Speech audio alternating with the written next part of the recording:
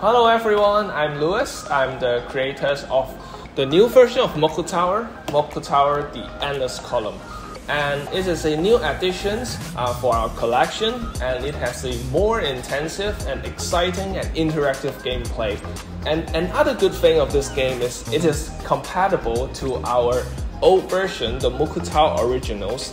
Um, by combining the game, you can have an even more exciting and interactive gameplay. For the endless column, we have incorporated seven new types of new wood types uh, throughout the whole game, and such as Japanese um, beech, uh, red beech, or and also African whitewood and etc. And because we really hope that our backers can uh, add more variety into their wood collections. As always, um, Tower Collection is always a home deco tabletop game. It's very pretty and adorable and you can use it to decorate your office or even your home.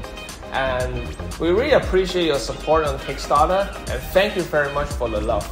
And let's have fun together with the Endless Column. Thank you.